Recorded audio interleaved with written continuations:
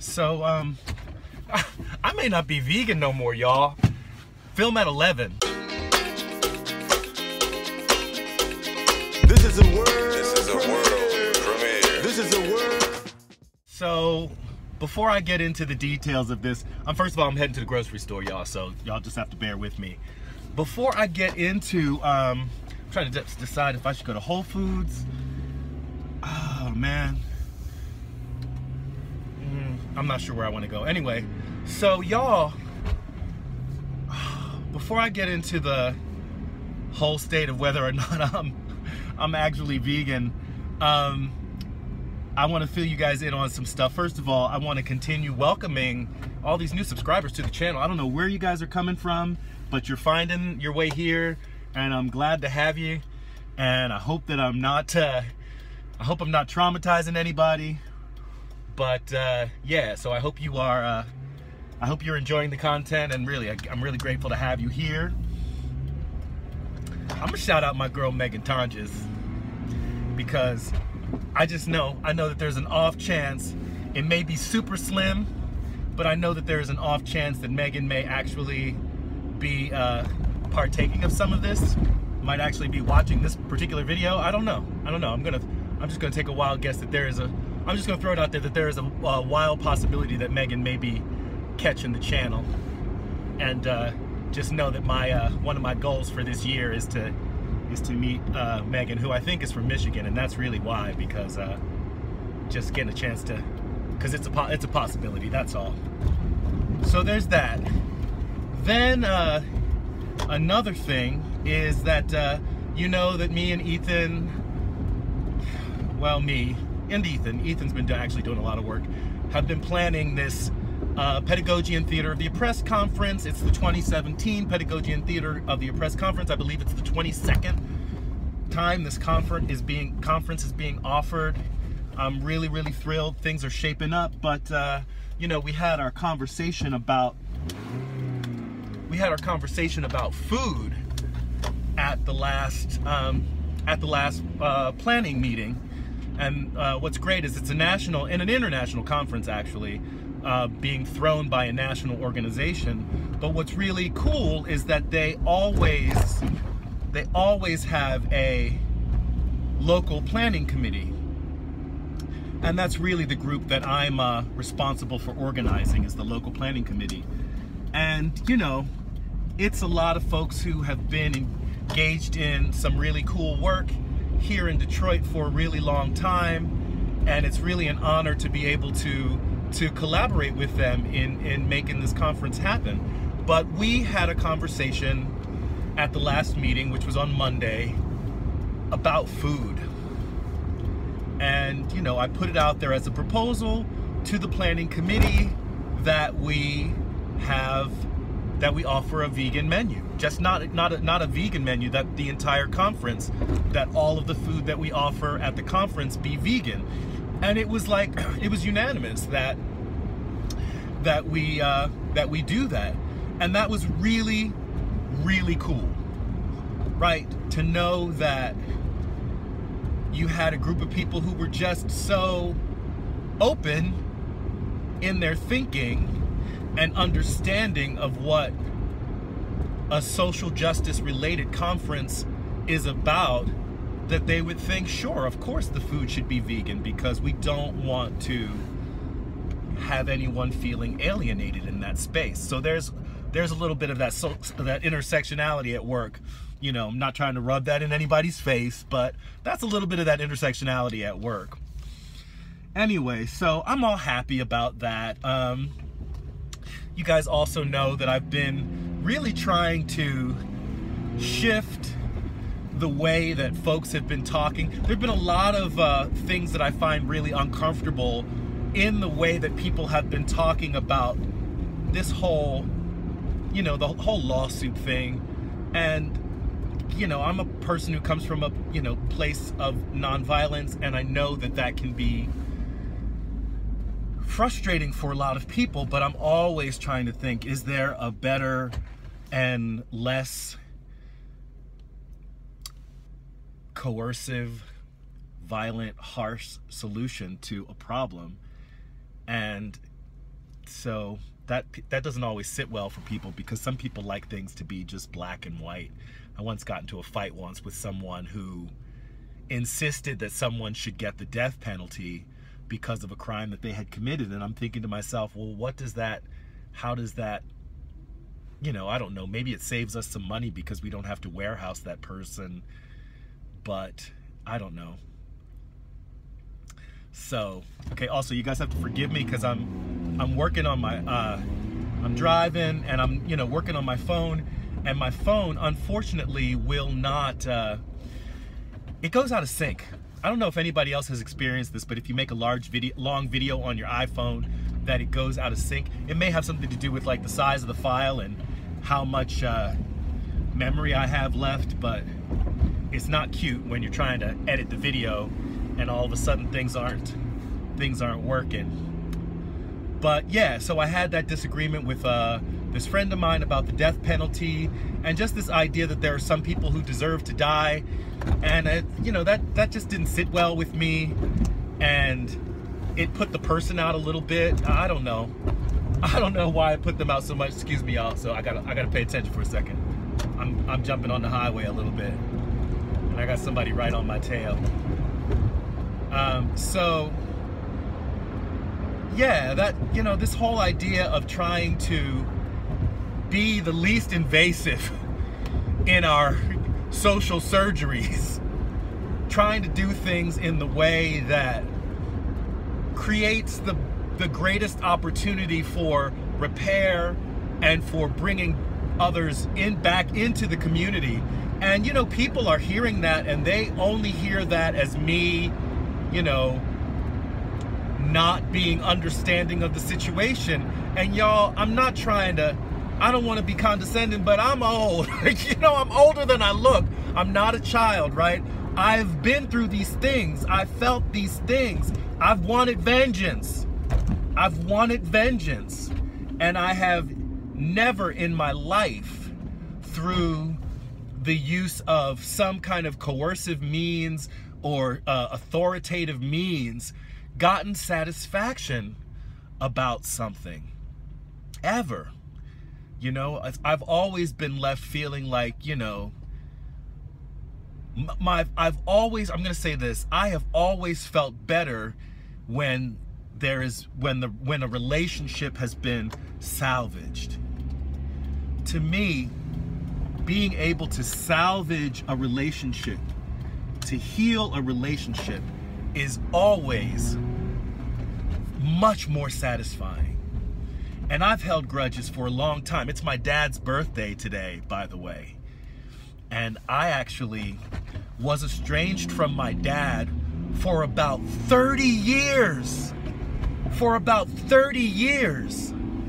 And trust me, if y'all think y'all have a reason to hate Charles Marlowe, I feel like I was pretty, I feel like I had pretty sound reasons for um, harboring resentment, hatred even towards my father. But man, nothing felt as good as healing that relationship. I don't know. And you wouldn't have been able to tell me a year before it had happened. A year before it had happened, you would not have been able to tell me that that was ever going to happen. But being able to heal that relationship meant so much to me. You know, and I hear people talk about people in their families who they harbor resentment towards and are justified in, the, in that resentment towards these people and their families. They're justified. But I'm telling you that that hatred not having to carry that around was such a relief. All right, so I decided to go to the Whole Food okay, cool. Thanks. Um, yeah, y'all, I decided to go to the Whole Food, so I'm just pulling into the parking lot. And then I'll just finish this up because uh, I think it's time I got to the heart of uh, the matter and explain to you guys why I don't think I'm vegan. I don't think I.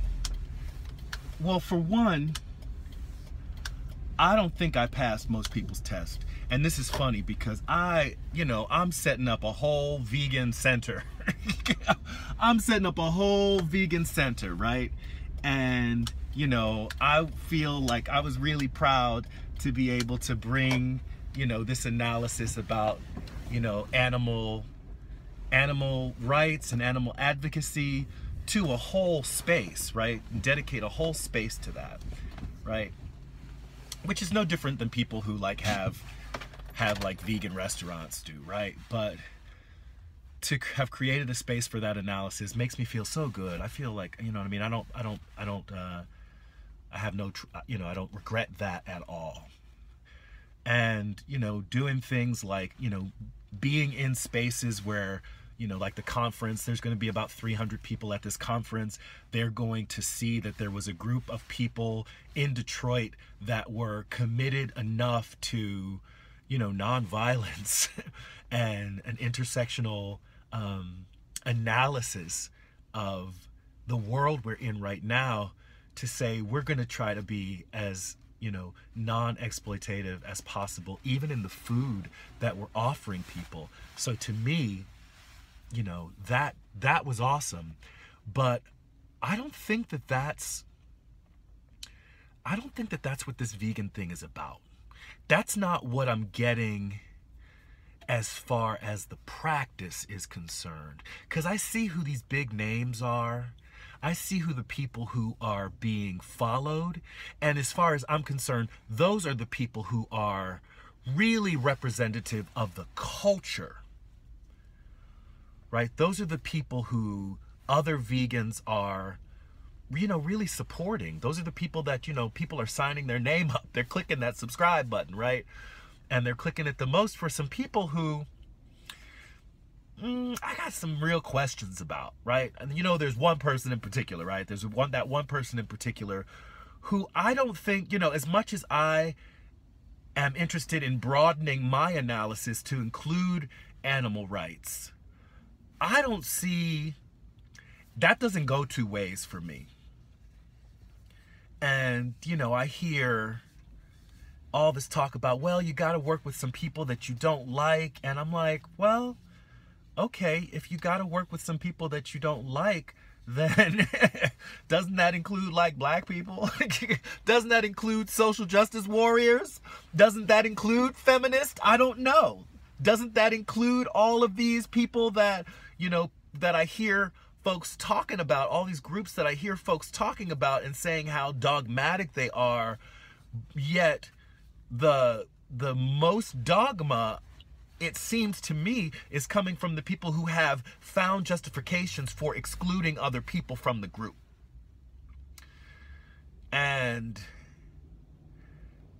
I felt it really strongly when I made, you know, some comments a few days ago when I was talking about this, you know, whole, you know, legal case. And it was like, oh, whoa, wait a minute, y'all. That's dicey. y'all ready to hate on me? Oh, y'all ready to throw me out with the y'all ready to throw me out with the garbage, right? Because I said something that people didn't like. And I don't want to be part of anything that's like that tentative. I don't want to be part of anything where your membership can be revoked without real, like, without some real clarity about what it is that people are standing for. Right? And I'm going to offer an example of a video that I watched recently. And it was, you know, it was Vegan Gains. And it was Vegan Gains talking about the whole, you know, bear thing, the person who was the, you know, carnist who was defending carnism. And um, Vegan Gains pulled out a gun. Vegan Gains pulled out a gun. Now I'm going to tell you this. I live in a in a concealed carry state. Right? I have hung out with people who carry guns who would never pull out their gun as a threat who would never pull out their gun to intimidate someone. But to see vegan gains pull out a gun in the name of animal rights? So that's kind of what it boils down to. I I I like people more than animals.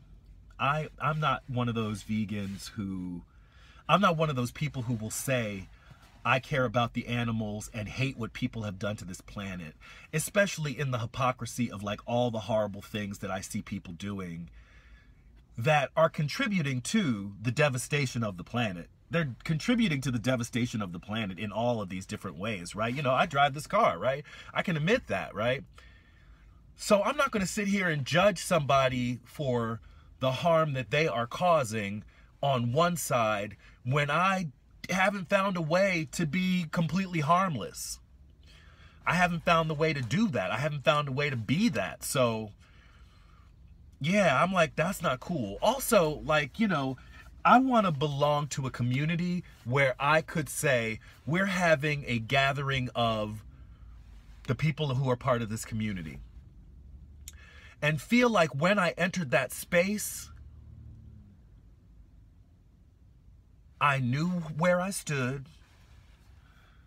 I I was I knew that we were in agreement about what it means as far as each other are concerned, right? So it's one thing to be in a space with vegans who all say, well, we don't want to hurt animals, but I don't know if you're going to go and like molest somebody, rape somebody, kill somebody, steal from somebody, um, you know, uh, slander somebody. you know what I mean? This is all that is going on in this community. You know, be a Nazi, be a white supremacist, right? Be an alt right, be in the alt right? So the fact that principles other than the non exploitation of animals have been utterly removed from this community, I'm like, I don't want nothing to do with that. I don't want to be part of that. I don't want to be part of that, y'all. I don't want to hurt no animals. I don't want to hurt no animals, but I'm sorry.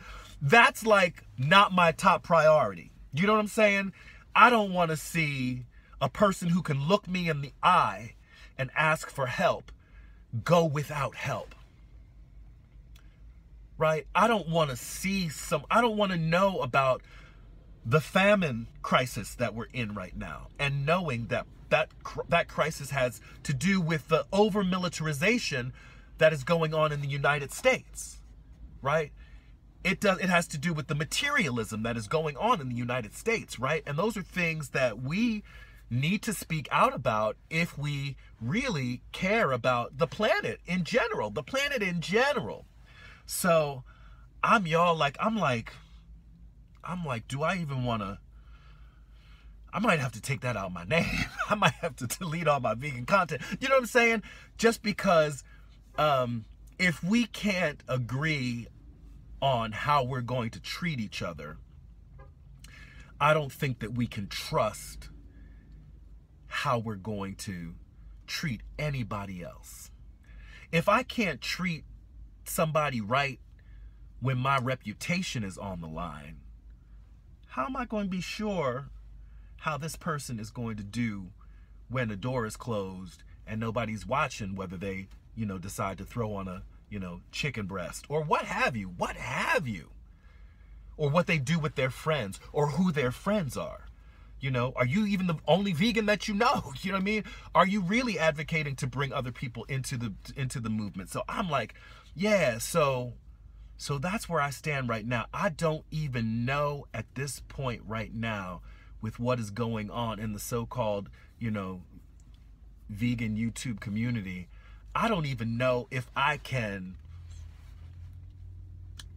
call myself that. Like I wouldn't I wouldn't bring any of you to meet my friends. Not any of you. I shouldn't say that. There's a lot of you that I wouldn't bring uh, uh, uh, bring uh, to meet my friends. If there was a gathering today that said a vegan gathering, I wouldn't bring somebody that I'm cool with into that space because I couldn't be guaranteed that, you know, somebody like Vegan Gains wouldn't be in there pulling out a gun and acting all wild and talking about how he's a member of the alt right and he's proven that vegans can be, you know, you know, white nationalist. And I'm sorry, Vegan Gains, but you probably wouldn't be accepted into the alt right because they don't want your black ass in there. I'm sorry, baby. They don't want your black ass in there. And if you think the alt-right is not a white supremacist, white nationalist group, then you need to do your reading.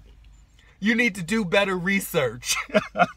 so that's it, y'all. Um, that's it for this video. Like it if you like it. Share, comment, subscribe. This is Reg signing off. Love yourselves. Peace. And I love myself. The world is a ghetto with guns and. I love myself, but can do what.